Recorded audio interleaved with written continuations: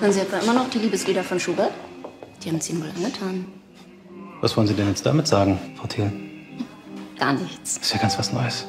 Dass Sie mal mit etwas gar nichts sagen wollen. Also, wie lautet die Unterstellung? Frühlingsgefühle. Das ist auch kein Wunder bei dem Wetter.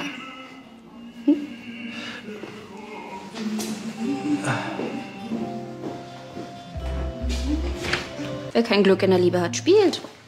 Was passiert, Herr Kirchner? Das habe ich, glaube ich, nicht nötig. Aber Sie vielleicht. Ach, Glücksspiel ist nicht mein Ding. Ihrs?